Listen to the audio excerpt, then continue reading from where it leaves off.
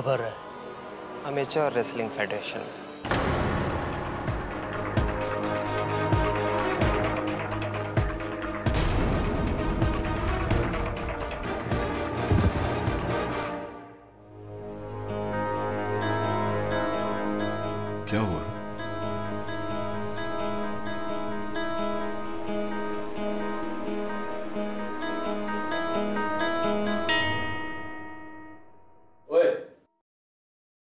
है परेशान लग रहा है। Any problem big problem sir sir मेरा एक दोस्त है रमन स्वरूप। प्राइवेट डिटेक्टिव का काम करता है। कल रात से वो गायब है। उसका कुछ पता नहीं। उसका फ़ोन भी बंद है। प्राइवेट डिटेक्टिव है।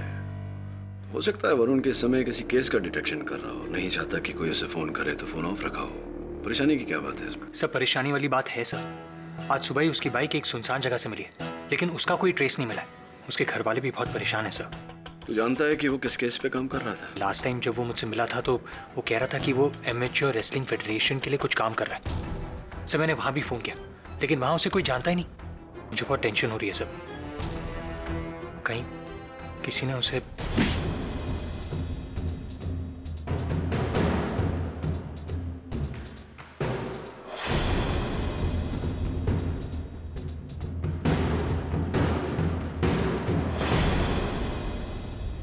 क्या तूने? ये क्या किया तूने? टंगड़ी क्यों मारी? लेकिन पापा मैंने इसे पटक तो दिया ना। बेईमानी करके तू खेल जीतना चाहता है हाँ? चीटिंग करने वाला कभी अच्छा खिलाड़ी नहीं बनता। लेकिन पापा जीतना भी तो इम्पोर्टेंट है ना। गलत। जीतना इंपॉर्टेंट नहीं है। खेल को खेल की तरह खेलना इंपॉर्टेंट है। तुम सबके बात समझ में आई? बहुत खूब। क्या बात कही आपने? तुम सब लोग खेलो। मैं आ रहा हूँ।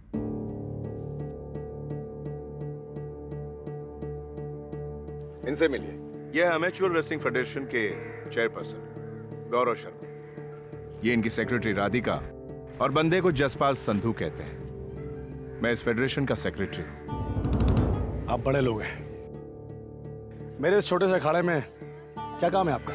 हमारी ये फेडरेशन देश में कुश्ती को पॉपुलर करना चाहती है। हम चाहते हैं कि हमारे देश से ओलंपिक्स में और भी अच्छे रेसलर्स जाएँ। इसलिए हमने बच्चों में से पॉपुलर करने के लिए उन्हें फ्री ट्रेनिंग देते हैं। बड़ा अच्छा काम करते हैं आप लोग। और इस अच्छे काम में आपका सपोर्ट चाहिए हमें। हम चाहते हैं कि आप हमारे फेडरेशन में हेड कोच के रूप में आए। तो आप उस बलबीर सिंह का क्या करेंगे? लेकिन ये बलवीर के बारे में आपको कैसे मालूम? मैं अपने दोस्तों और दुश्मनों का ख्याल रखता हूँ। बलबीर को भले ही हमने अपने फेडरेशन में हेड कोच के रूप में नियुक्त किया है लेकिन हम जानते हैं उसकी हैसियत। कहाँ आप कहाँ वो? पर लोग तो ऐसा नहीं समझते हैं। और वैसे भी वो ओलंपिक्स खेला हुआ है। और आठ साल पहले उसने सिल्वर मेडल लिया था। अगर ओलंपिक्स में आपके साथ उसने बेईमानी नहीं की होती और अगर आपने ओलंपिक्स में पार्ट लिया होता तो आज देश में सिल्वर मेडल नहीं गोल्ड मेडल आता था। इस दिन का इंतज़ार तो पिछले आठ साल से कर रहा हूँ मैं। कब मैं उस बलवीर को उसकी औकात दिखाऊँ? और आज मौका मिल रहा है। मुझे आपका ऑफ़र मंजूर है। वेरी गुड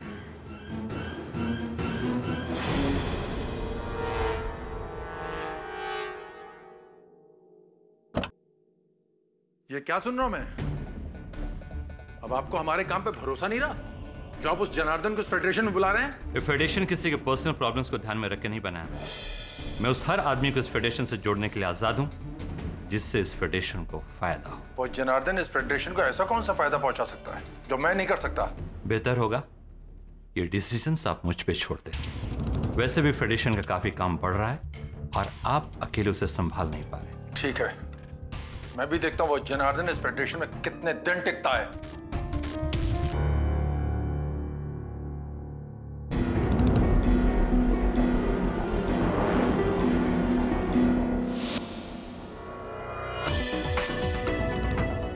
केबिन में क्या कर रहे हो? ये केबिन तुम्हारा ही नहीं बल्कि हम दोनों का है। आठ साल पहले जो तुमने मेरे साथ किया उसका बदला लेने के लिए आठ साल तड़पा हूँ मैं। और देखो ना भगवान ने हम दोनों को मिलाया तो कितना मौके के साथ। ठीक है जनार्दन मैं तुम्हें छोड़ूँगा नहीं।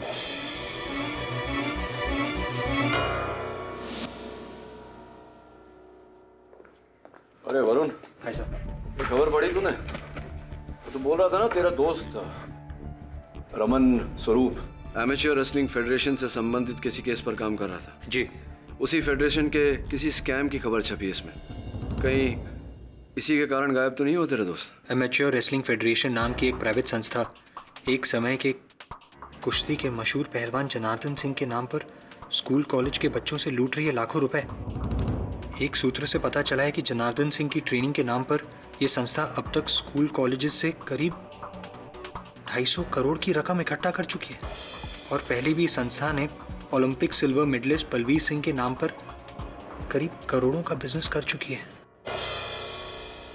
ये सब क्या तमाशा है, गौरव? अब मुझे इस न्यूज़पेपर से पता चलेगा कि स्कूल्स और कॉलेजेस में से तुमने जनार्दन के नाम पर ढाई करोड़ रुपए ऐंठे। बलवीर के नाम पर तकरीबन पाँच करोड़ रुपए का गबन किया। तुम बेकार में इतना क्यों हाइपर हो रहे हो जसपाल? तुम हमारे बिज़नेस पार्टनर हो इस फेडरेशन के सेक्रेटरी हो। तुम्हें तो मालूम होना चाहिए कि ये फिगर्स बढ़ा चढ़ाकर बताए गए मुझे बेवकूफ़ समझने की गलती मत करना गौरव। मैंने न्यूज़पेपर से सब कुछ पता कर लिया जानते हो ना मेरे विश्वसनीय सूत्र हर जगह काम करते हैं। एक बात याद रखना तुमने जितना पैसा ऐठा है उस फिगर का एक एक पाए का हिसाब है मेरे पास। मैं तुम्हें ये सारा माल अकेले नहीं हड़पने दूँगा। और तुम तो जानते ही हो कि अगर मैं खुद पे आ जाऊँ तो क्या कर सकता हूँ? So be where madam madam आप प्लीज़ गौरव जी को बोलिए कि एक बार मुझसे मिल ले। मैं पिछले पाँच दिन से लगातार यहाँ आकर उनको मिलने की कोशिश कर रहा हूँ। देखिए वो किसी ज़रूरी मेरी बात तो सुनिए। मुझे कुछ नहीं सुनना।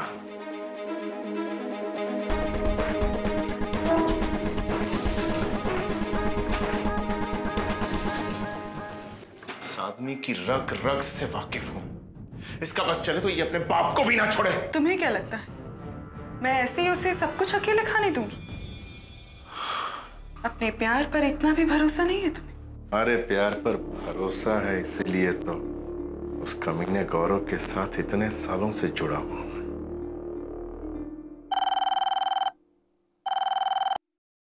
एमेच्योर रेसलिंग फेडरेशन जी जसपाल सर। ग्राउंड फ्लोर पर। जी मैं आती हूँ। गौरव है? जी हाँ लेकिन ये सब क्या है? ये बिज़नेस है। कभी कभी करना पड़ता है। अच्छा। तो आज से और अभी से मैं इस फेडरेशन से नाता तोड़ रहा हूँ। तुम शायद भूल रहे हो कि तुमने मेरे साथ अग्रीमेंट किया है। और उस अग्रीमेंट के हिसाब से दो साल तक तुम फेडरेशन नहीं छोड़ सकते किसमें हिम्मत है मुझे रोकने की? तुम्हें यहाँ से बाहर जाने से रोकने के लिए। मैं खुद बहुत हूँ। मेरा एक इशारा बहुत है। तो मुझे रोकेगा। ज़रूर। चल रोक। रोक।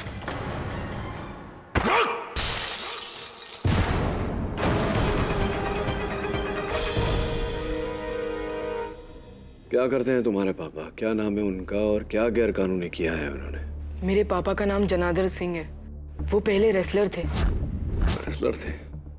और अभी अमेचुअर रेसलिंग फेडरेशन उन्होंने थोड़े दिन पहले ही ज्वाइन किया वो जनार्दन सिंह जो एमेच्योर रेसलिंग फेडरेशन के चेयरपर्सन गौरव शर्मा के कत्ल के इल्ज़ाम में हिरासत में। जी हाँ। लेकिन सर मैं अपने पापा को अच्छी तरह से जानता हूँ।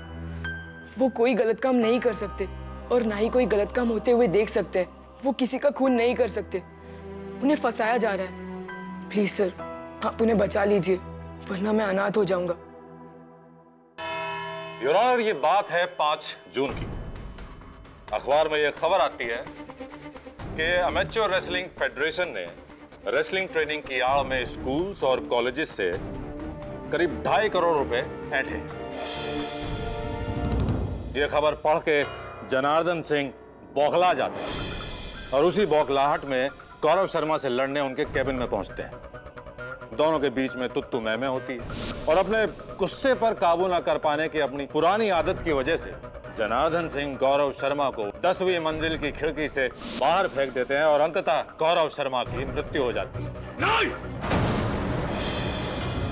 मैंने गौरव शर्मा को नहीं मारा। लेकिन आप ये मानते हैं कि आप गौरव शर्मा से नाराज़ थे और गुस्से में बौखलाते हुए गौरव शर्मा के केबिन में पहुँचे और उससे लड़ाई की? हाँ। ये सच है। उसने मुझसे कहा था कि मैं बच्चों की ट्रेनिंग की फ़ीस नहीं लूँगा। इसीलिए मैं उस फेडरेशन का हिस्सा बना। लेकिन जब न्यूज़पेपर में सच्चाई का पता चला तो मुझे बहुत गुस्सा आया। मैं अपने आपे से बाहर हो गया और उससे मिलने चला गया। और इसी गुस्से में आपने गौरव शर्मा को उठाकर नीचे फेंक दिया। नहीं! नहीं फेंका! कितनी बार कहूँ मैं? अरे कितनी बार भी कहें लेकिन सच्चाई झुटलाई नहीं जा सकती। आप भी ये अच्छी तरह से जानते हैं कि आपके गुस्से पे आपका नियंत्रण है नहीं। आप इससे पहले भी अपने आपे से बाहर हुए हैं। और इसका आपने बहुत बड़ा खामियाजा भुगता भी है। जी हाँ। आप ठीक कह रहे हैं। आठ साल पहले हमने बहुत सारी कुश्तियाँ लड़ी। कुछ हारे कुछ जीते। और इस जनार्दन के गुस्से को मुझसे बेहतर और कौन जान सकता है? ए बलवीर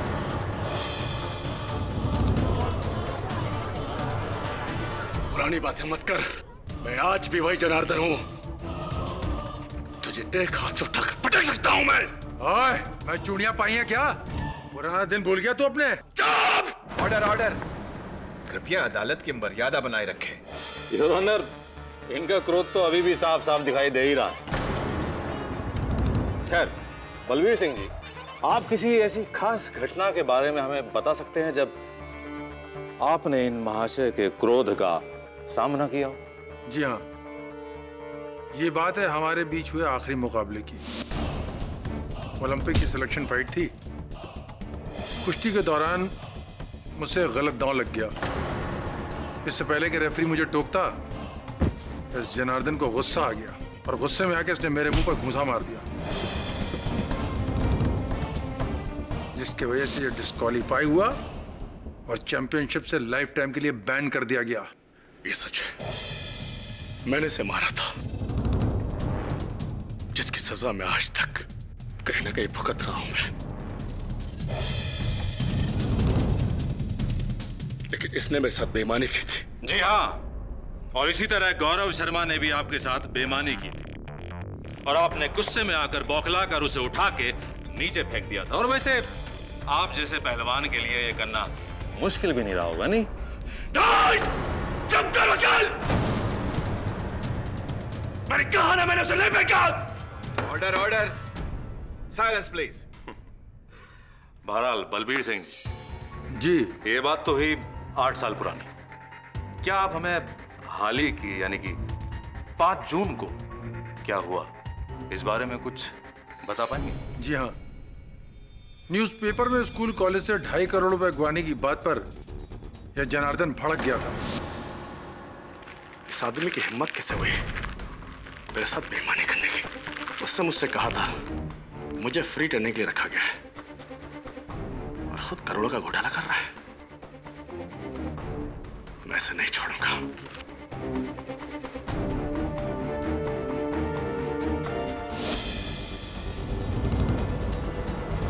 और उन्होंने वही किया जो उन्होंने कहा।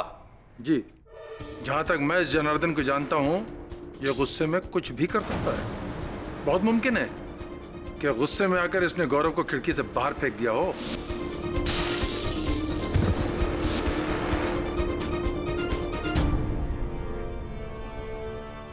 बलवीर सिंह जी। जी।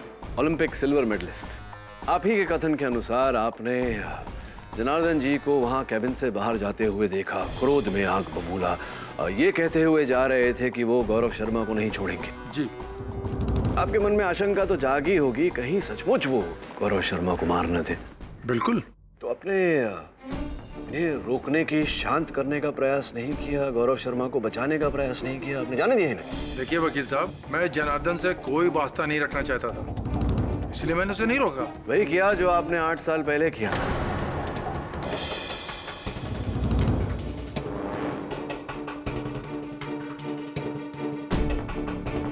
आठ साल पहले भी आपने जनार्दन जी को उकसाया था। आप जानते थे कि इन्हें बेईमानी से नफरत है बेईमानी से इन्हें क्रोध आता है और ये क्रोध में गलती कर जाते हैं। इसीलिए आपने जानबूझकर गलत दाव खेला। ये बौखला गए और इन्होंने गलती की जिसके कारण इन्हें खेल से बाहर कर दिया गया और आपका ओलंपिक्स तक का रास्ता साफ़ हो गया। ये क्या बकवास कर रहे हैं वकील साहब? बकवास नहीं कर रहा हूँ बलवीर सिंह जी। सही कह रहा हूँ। आठ साल बाद भी आपने वही किया ताकि आपकी फेडरेशन की कुर्सी जिस पर आप बैठे हैं वो आपके हाथ से न जाए। वकील साहब ये सरासर बेबुनियाद बातें हैं। मैं जिस जगह पर हूँ उस जगह पर मुझे इस जनार्दन जैसे से क्या इनसिक्योरिटी हो सकती है? और शायद आप भूल रहे हैं कि मैं एमेच्योर रेसलिंग फेडरेशन का एक फाउंडर मेंबर भी हूँ। इस जैसे आदमी से मुझे क्या खतरा हो सकता था? खतरा तो था आपको। वो नोटिस जिस फेडरेशन के आप फाउंडर मेंबर है उसी फेडरेशन ने फेडरेशन से आपको मुक्त करने के लिए नोटिस भेजा था। योर ऑनर वो नोटिस आपकी मेज पर रखा हुआ है। भेजा था या नहीं भाई बहुत सुंदर केडी साहब बहुत सुंदर लेकिन आखिर आप इन सब तथ्यों से साबित क्या करना चाहते हैं? क्या आप ये कहना चाहते हैं कि बलवीर सिंह ने जनार्दन को रोका नहीं? इसलिए जनार्दन ने गौरव शर्मा की हत्या कर दी। अगर ऐसा है तो भी जनार्दन का जुर्म कम नहीं हो जाता। नहीं आप भरद्वाज साहब, मैं तो केवल संभावनाओं को टटोल रहा हूँ। आपने अपने दलील में कहा था कि जनार्दन जी एक ऐसे पहलवान हैं जिनके लिए किसी को उठाकर खिड़की से बाहर फेंकना कोई बड़ी बात नहीं है। बलवीर सिंह जी भी तो ओलंपिक सिल्वर मेडलिस्ट रहे हैं। इनके लिए भी किसी को उठाकर खिड़की से बाहर फेंकना कोई बड़ी बात नहीं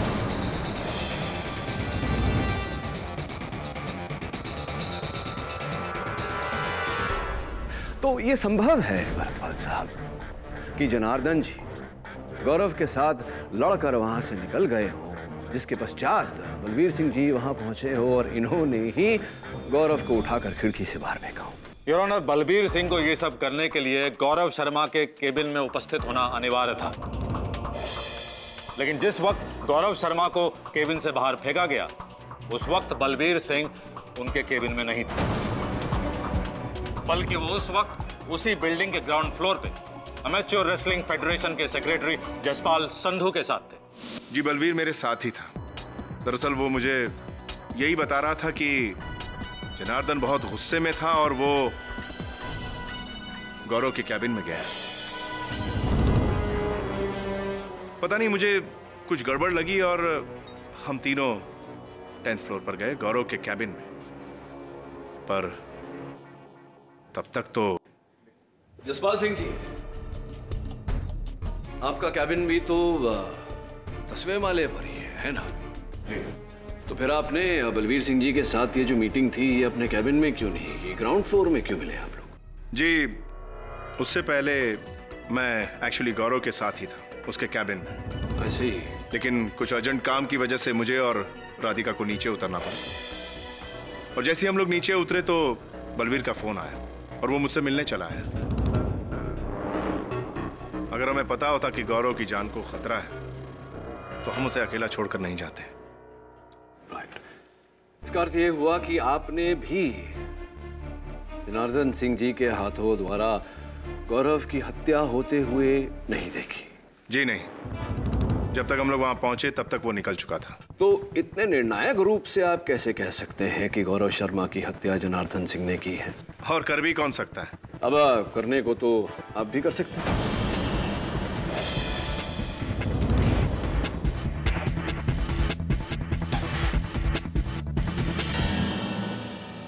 देखिए केडी केडी साहब गौरव की कैबिन में गौरव से मिलने अगर कोई आखिरी व्यक्ति गया था तो वो जनार्दन ही था। और ये बात आप किसी से भी पूछ सकते हैं। आप चाहें तो राधिका से पूछ लीजिए।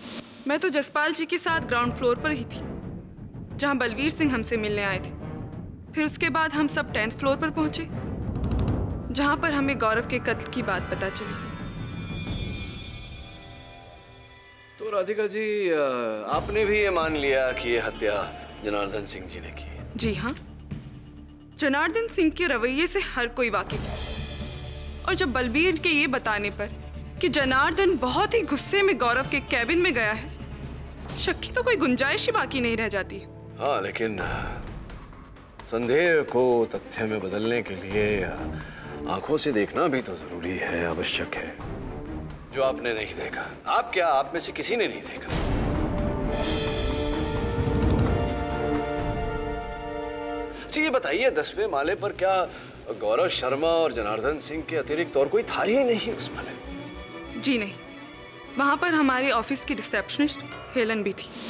मिस हेलन डिकोस्टा आप एमेच्योर रेसलिंग फेडरेशन की वो जो ऑफिसेज हैं वहाँ रिसेप्शनिस्ट हैं। जी। तो ज़ाहिर है कि वहाँ हर आने जाने वाले की सूचना रखती होंगी आप। जी हाँ। तो इससे तो स्पष्ट है कि आपने जनार्दन सिंह जी को गौरव शर्मा के कैबिन में जाते हुए भी देखा होगा वहाँ से बाहर आते हुए भी देखा होगा। um, जी मैंने जनार्दन को गौरव सर के कैबिन के अंदर जाते हुए देखा था लेकिन बाहर आते हुए नहीं देखा था। क्यों आप तो वहीं बैठती हैं गौरव शर्मा जी के केबिन के बाहर आपने इन्हें बाहर आते हुए कैसे नहीं देखा? जी दरअसल गौरव सर अपने केबिन में जसपाल जी और राधिका जी के साथ कोई मीटिंग कर रहे थे। ये लोग करीबन 145 तक बाहर निकले होंगे। तब तक मैं रिसेप्शन में ही थी। जसपाल जी और राधिका जी के बाहर निकलने के करीब पाँच मिनट बाद ही मुझे जसपाल जी का फ़ोन आया कि मैं उनसे ग्राउंड फ्लोर पर आकर मिलूं। मैं बस जसपाल जी से मिलने के लिए नीचे जा ही रही थी कि तभी वहाँ जनार्दन जी पहुँच गए। और क्योंकि जनार्दन जी इसी फेडरेशन के एक एम्प्लॉय है, इसलिए मैंने उनसे कुछ पूछने की कोशिश ही नहीं की कि वो गौरव सर से क्यों मिलना चाहते हैं। और मैं जसपाल जी से मिलने के लिए नीचे चली गई। अच्छा ये बताइए कि क्या काम था? जसपाल जी को आपसे। वही तो मेरी समझ में भी नहीं आया, क्योंकि जब तक मैं नीचे पहुँची, तब जसपाल जी वहाँ थे ही नहीं।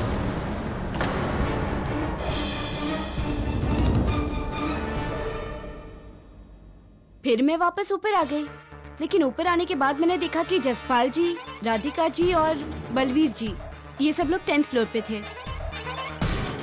और गौरव सर को किसी ने फिर जब मैंने जसपाल जी से ये पूछा कि उन्होंने मुझे नीचे क्यों बुलाया था तब, उनका कहना था कि उन्होंने मुझे कोई फ़ोन कॉल किया ही नहीं। Your honour miss Helen D'Costa की कथन से ये स्पष्ट है कि ये हत्या जनार्दन जी के क्रोध में आने का परिणाम नहीं, किसी व्यक्ति के सोची समझी साजिश का परिणाम है।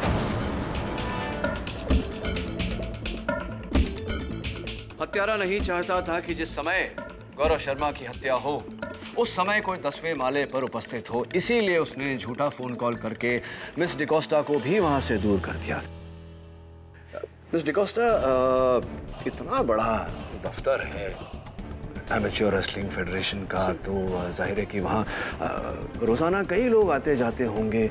दस माले पर ऐसा से पूरे दफ्तर में कोई नहीं था। गौरव शर्मा जी और जनार्दन जी के अतिरिक्त और कोई भी नहीं था। दरअसल हमारा ऑफ़िस इस बिल्डिंग के तीन फ्लोर पर है। टेंथ फ्लोर पर गौरव सर जसपाल जी और राधिका जी रहते हैं। सारे प्योन और पेंट्री नाइन्थ फ्लोर पर है और एट्थ फ्लोर पर हमारा एडमिनिस्ट्रेशन ऑफ़िस है जहाँ पर जनार्दन जी और बलवीर जी की भी कैबिन है। कर्मचारियों के अतिरिक्त कोई मिलने वाले विजिटर्स इत्यादि डिलीवरी बॉयज़ लेकिन हाँ एक विजिटर थे जो पिछले पाँच दिन से लगातार ऑफ़िस में गौरव सर से मिलने के लिए आते थे। लेकिन गौरव सर के पास उनसे मिलने के लिए टाइम ही नहीं था। लेकिन वो भी मेरे रिसेप्शन छोड़ने से पहले चले गए थे वहाँ से। वहाँ से जा चुके थे। क्या आज यहाँ अदालत में आए हैं? जरा बताइए देख के। ये थे।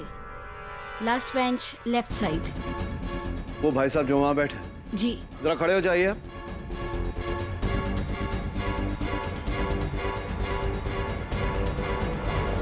डॉक्टर कपाड़िया आपसे मिलकर अत्यंत प्रसन्नता हुई। गौरव शर्मा की हत्या से पाँच दिन पहले से आप उनसे आ, मिलने का प्रयास कर रहे थे। ऐसा कौन सा आवश्यक काम आन पड़ा था आपको गौरव जी से? देखिए मैं एक डॉक्टर हूँ। और ऐसे स्पोर्ट फेडरेशन में डॉक्टर को बड़ा स्कोप रहता है। और मैं एमेच्योर रेसलिंग फेडरेशन ज्वाइन करना चाहता था इसलिए मैं गौरव से मिलने की कोशिश कर रहा था लेकिन मुलाकात हो ना पाई। तो जिस दिन उनकी हत्या हुई थी उस दिन भी आप गए थे उनसे भेंट करने? जी हाँ। लेकिन जब हेलन ने बताया कि आज भी वो बिज़ी है। उनके पास मिलने का टाइम नहीं है तो मैं वहाँ से चला गया था। जब मैं टेंथ फ्लोर पर था तो मैंने हेलन को नीचे जाते हुए देखा और मैंने सोचा कि यही मौका है गौरव जी से मिलने का। लेकिन मैं जब ऑफ़िस में गया तो मैंने एक आदमी को बहुत गुस्से में भागते हुए बाहर आते देखा। अच्छा किसे देखा था आपने गौरव शर्मा जी के केबिन से बाहर आते हुए? यही आदमी है वो।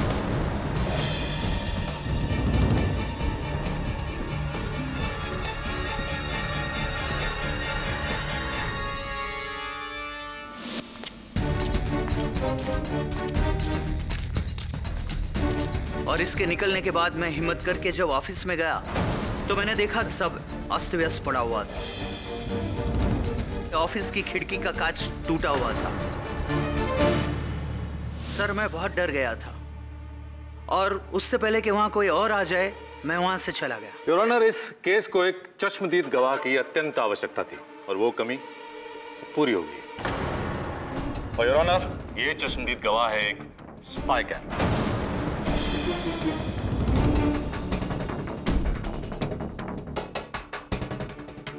your honour Gaurav Sharma की एक आदत थी। वो अपने कैबिन की टेबल पर रखी लैंप में एक स्पाई कैम लगा के रखता था, ताकि अपने कैबिन की गतिविधियों पर नज़र रख सके। मैं उसी स्पाई कैम की रिकॉर्डेड वीडियो फुटेज इस अदालत के सामने दिखाना चाहता हूँ योर ये सब क्या है? ये बिज़नेस है। ये सब करना पड़ता है अगर ये बिज़नेस है आज से और अभी से। इस फेडरेशन से नाता तोड़ रहा हूँ। तुम्हें फेडरेशन से जाने से रोकने के लिए मैं बहुत मेरा एक इशारा बहुत है। चल मुझे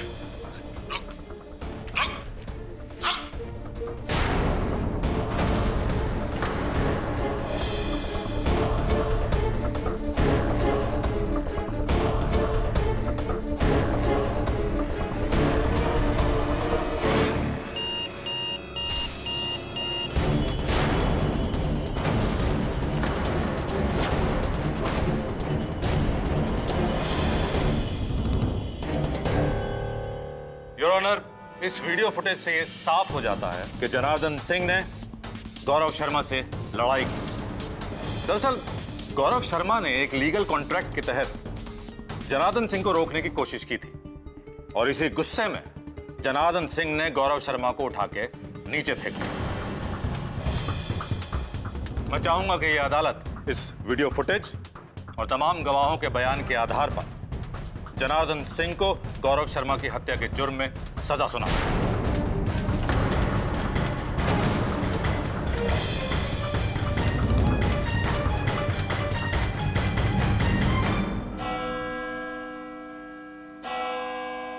यह अदालत इस केस पर अगली सुनवाई में अपना फैसला देगी। तब तक के लिए यह अदालत बर्खास्त की जाती है।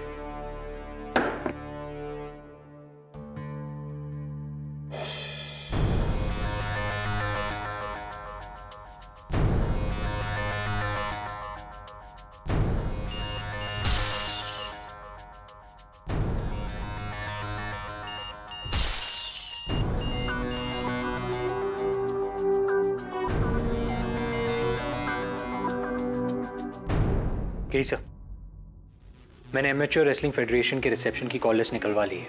1:45 से दो बजे के बीच सिर्फ़ एक कॉल आई थी। यही वो नंबर गौरव शर्मा के ऑफ़िस जाना पड़ेगा।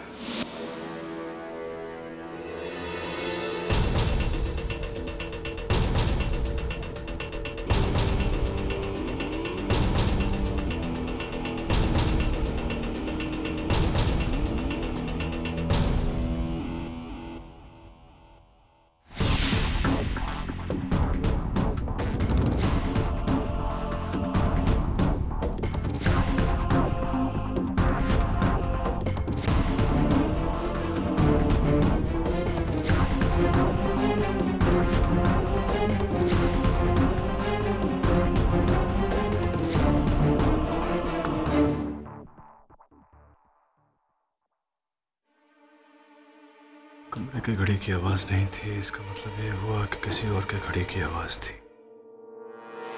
और कौन था इस कमरे में? केडी सर ये रजिस्टर देखिए कुछ अजीब नहीं है।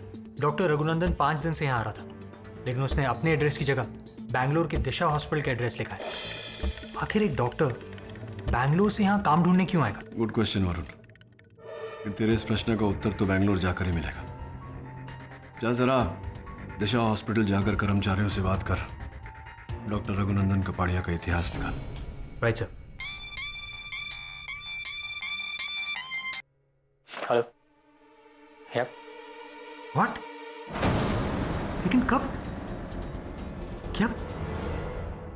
क्या हुआ सब सब मेरा दोस्त रमन स्वरूप जिसके बारे में मैंने आपको बताया था। सब पुलिस को उसकी लाश एक नाले के पास से मिली है। किसी ने गोली मारकर उसकी हत्या कर दी सर, उसकी लाश तो पहचानी भी नहीं जा रही थी। वो तो लकीली उसके पर्स में उसका आइडेंटिटी कार्ड था, sir. Sorry Varun sorry to hear about that तूने बताया था तेरा दोस्त एमेच्योर रेसलिंग फेडरेशन के लिए कोई काम कर रहा था। क्या चल रहा है इस फेडरेशन में? और मुझे लगता है ये दोनों हत्याएँ कहीं ना कहीं जुड़ी हुई है। बेंगलोर जाने से पहले तो पुलिस स्टेशन जा और तेरे दोस्त की हत्या की सारी डिटेल्स निकलवा। I am sure this a connection somewhere Varun dead body को पहचान पाना लगभग इम्पॉसिबल है। लेकिन उसके पास से मिले सामान से हम ये आइडिया लगा रहे हैं कि बॉडी रमन स्वरूप की है।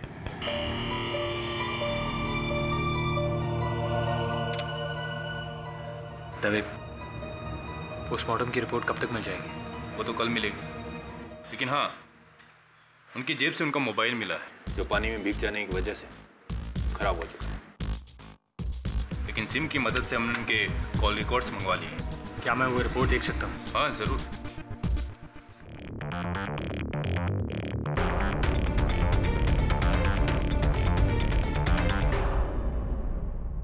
एक्सक्यूज मी मुझे डॉक्टर रघुनंदन के बारे में कुछ इन्फॉर्मेशन चाहिए। डॉक्टर रघुनंदन? जी।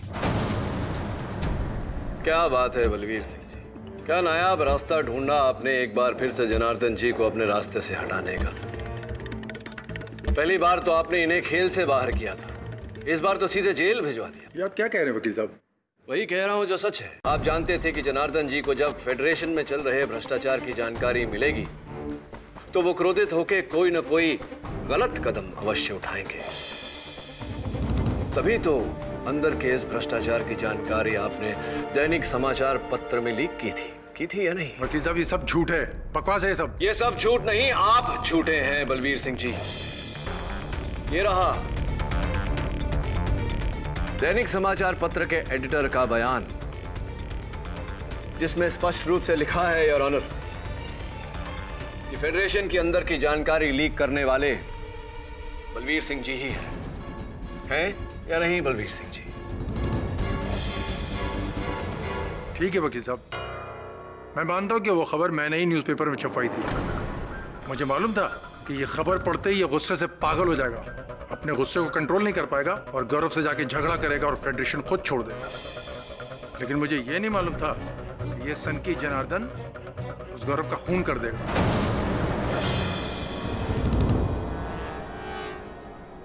मुझे बलवीर सिंह जी से आगे कुछ नहीं पूछना। मैं डॉक्टर रघुनंदन कपाड़िया को एक बार फिर से कटघरे में बुलाने की अनुमति चाहूँगा। डॉक्टर रघुनंदन कपाड़िया बड़ी अद्भुत बात है कि वहाँ एमेच्योर रेसलिंग फेडरेशन के दफ्तर में इतने लोगों के होने के बावजूद आप वो इकलौते व्यक्ति हैं जिन्होंने जनार्दन जी को गौरव शर्मा जी के दस माले के कैबिन से बाहर आते हुए देखा और किसी ने नहीं देखा। सही कह रहा हूँ? जी हाँ सर। और आप वहाँ पाँच दिनों से गौरव शर्मा जी से मिलने का प्रयास कर रहे थे। सही कह रहा हूँ? जी हाँ। बिल्कुल सही कह रहे हैं आप। और आपने हत्या के दोपहर को मिस डिकोस्टा को नीचे से एक फ़ोन कॉल करके झूठा फ़ोन कॉल करके उन्हें नीचे बुलाया। सही कह रहा हूँ? ग्राउंड फ्लोर पर। जी मैं आती हूँ। ये आप कैसे बात कर रहे हैं? मैंने कोई झूठा कॉल नहीं किया था। डॉक्टर कपाड़िया, इस अखाड़े का मैं नवसिखिया नहीं, एमेच्योर नहीं। बहुत ही मंझा हुआ खिलाड़ी। एमेच्योर रेसलिंग फेडरेशन के रिसेप्शन पर कॉलर आईडी लगाया गया है हर आने वाले कॉल को नंबर समेत दर्ज किया जाता है, जिसकी सूची जज साहब की मेज पर रखी हुई है, जिसमें आपका नंबर है, जिससे स्पष्ट होता है कि जिस समय मिस डिकोस्टा को वो फ़ोन गया था, आप ही के नंबर से गया था। बताइए कि क्यों आपने मिस डिकोस्टा को फ़ोन करके ग्राउंड फ्लोर पर बुलाया था? एक्चुअली मैं एक्चुअली क्या? एक्चुअली सर मैं बहुत परेशान हो गया था।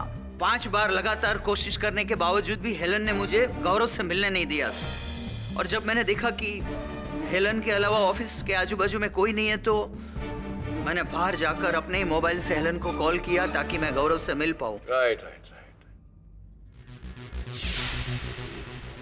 साढ़े बारह बज गए। कितने बज रहे हैं आपकी घड़ी में? साढ़े बारह। ए नाइस वॉच तो ऐसा क्या विशेष काम आन पड़ा था गौरव जी के साथ कि आप आप आ, बेंगलोर निवासी हैं? तो बेंगलोर में अपना काम काज सब छोड़कर यहाँ मुंबई में पड़े हुए थे गौरव शर्मा जी के पीछे पड़े हुए थे ऐसा क्या विशेष काम था? किसी के काम करने पर कोई रोक है क्या? अगर मैं बेंगलोर छोड़कर यहाँ काम करना चाहूँ तो कोई प्रॉब्लम है? अरे नहीं नहीं डॉक्टर साहब। काम करने में अब क्या परेशानी भला। हाँ लेकिन जब किसी काम करने के लिए इतनी इतने ठोस प्रकार से आप किसी के पीछे पड़ जाए जो काम करने के लिए आप एक किसी प्राइवेट डिटेक्टिव का सहयोग भी ले तब बात थोड़ी विचित्र हो जाती है। ऐसा लगता है कि दाल में कुछ काला है।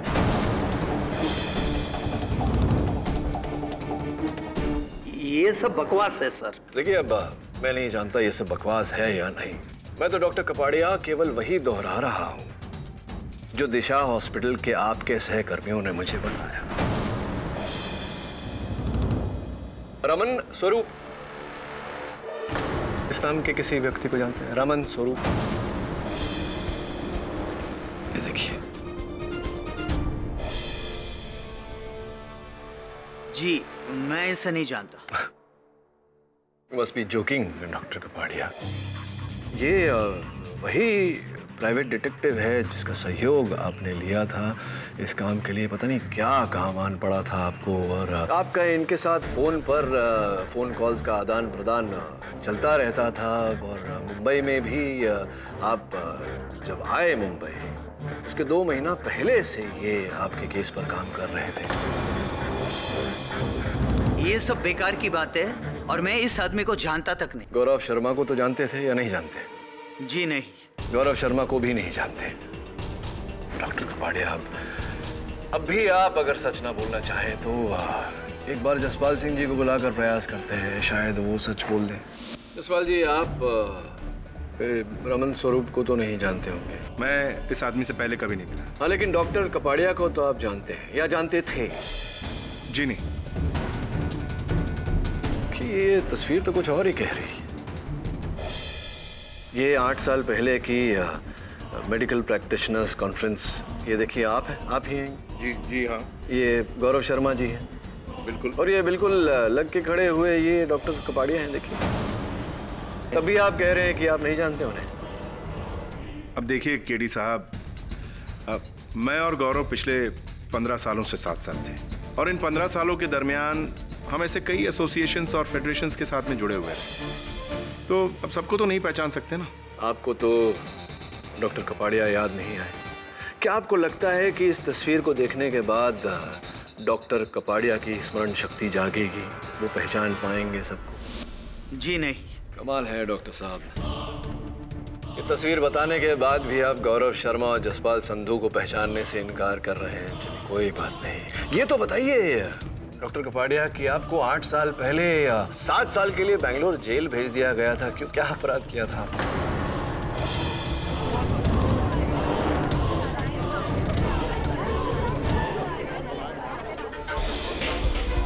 धोखा दिया था इन दोनों ने मुझे। इन दोनों की वजह से मुझे जेल हुई। आज का गौरव शर्मा, कल का रघुवीर यादव। था उसने मेरी मदद से बेंगलोर मेडिकल एसोसिएशन खोला। और मेरी पोजीशन का गलत फ़ायदा लिया। कुछ दिनों में करोड़ों का गफला करके वो भाग गया और मैं फंस गया मुझे जेल हो गई। फिर जेल से रिहा होने के बाद में आपने रमन स्वरूप की मदद लेकर गौरव शर्मा उर्फ़ रघुवीर शर्मा को ढूंढ निकाला। मैंने पहले भी कहा है कि मैं किसी रमन स्वरूप को नहीं जानता हूँ। डॉक्टर कपाड़िया अगर आप रमन स्वरूप को जानते ही नहीं तो फिर आपने उनकी हत्या क्यों की? एक बजकर पचास मिनट हो गया बोलिए ना आपने रमन स्वरूप की हत्या क्यों की जब आप जानते ही नहीं थे उसको मैंने किसी की हत्या नहीं की। रमन स्वरूप के पोस्टमार्टम रिपोर्ट के अनुसार उन्हें पहली जून की रात को point twenty two calibre revolver से उनके शरीर को नाले में फेंका गया था। बेलिस्टिक्स के अनुसार वो point twenty two calibre revolver doctor Raghunandan Kapadia की है। वो रिवॉल्वर इनके नाम पर रजिस्टर्ड है और पुलिस ने वो रिवॉल्वर इनके होटल के कमरे से बरामद की है। डॉक्टर रघुनंदन कपाड़िया, क्या आप अब भी यही कहेंगे कि आपने रमन स्वरूप की हत्या नहीं की? ये मुझे फंसाने की साजिश हो रही है। मैंने किसी का खून नहीं किया है। रमन स्वरूप को ना मैं जानता था ना मैंने रमन स्वरूप का खून किया है। गौरव शर्मा को तो आप जानते थे। क्या आपने उसकी हत्या की है? ये क्या बकवास? मैंने पहले भी अपने बयान में बताया कि मैं जब टेंथ फ्लोर पर पहुँचा था तभी मैंने जनार्दन को बाहर आते हुए देखा था। हाँ ये तो बताया लेकिन आप ये बताना भूल गए कि जनार्दन जी के वहाँ से जाने के बाद आप गौरव शर्मा के कैबिन में गए। गौरव शर्मा टेबल पर चोट लगने के कारण ज़मीन पर बेहोश पड़े हुए थे। आपने उन्हें उठाया और दस माले की खिड़की से नीचे फेंका। फेंका या नहीं? ये झूठ है बिल्कुल बेबुनियाद है। मैंने किसी का खून नहीं किया है। 155 डॉक्टर कपाड़िया एक बज के पचपन मिनट। योर ऑनर अगर डॉक्टर कपाड़िया अब भी सच कबूल करने को तैयार नहीं है तो मैं एक बार फिर अदालत में वही स्पाई कैम फुटेज चलाना चाहूँगा जो पहली बार प्रोसिक्यूशन ने बतौर चश्मदीद गवाह के पेश की थी। ये सब क्या है? ये बिज़नेस है। ये सब करना पड़ता है ज़्यादातर। अगर ये बिज़नेस है तो मैं आज से और अभी से इस फेडरेशन से नाता तोड़ रहा हूँ। तुम्हें फेडरेशन से जाने से रोकने के लिए मेरा एक इशारा बहुत है।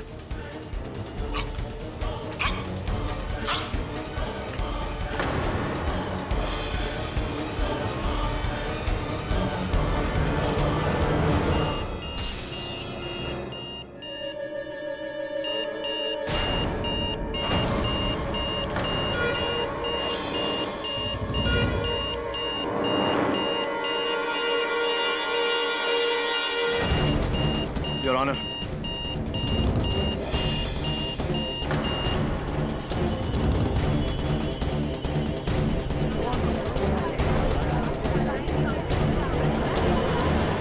हाँ डॉक्टर कपाड़िया। अब करेंगे एक बाले जुर्म या कुछ और सबूत पेश करूँ। मैंने कहा था आपसे इस अखाड़े का मैं नफ सीखिया नहीं। मज़ा हुआ खिलाड़ी हाँ मैंने ही गौरव का खून किया।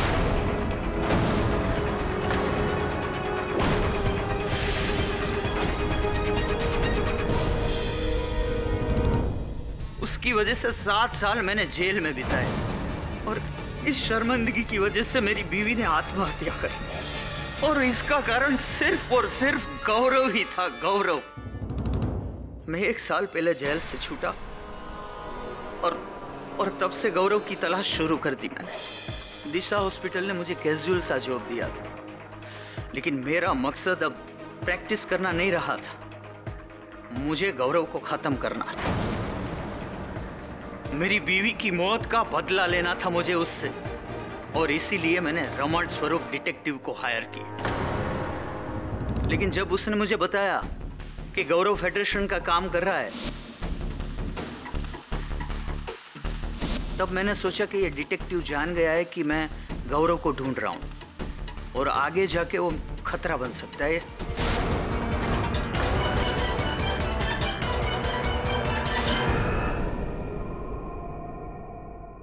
मैं मौका ढूंढ रहा था गौरव को मारने का। और उस दिन जनार्दन ने मुझे वो मौका दे दिया।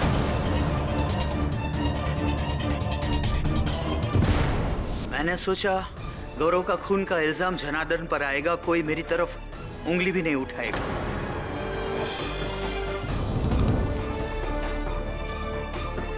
लेकिन ठीक है, मुझे अपने गुनाह का कोई अफसोस नहीं है।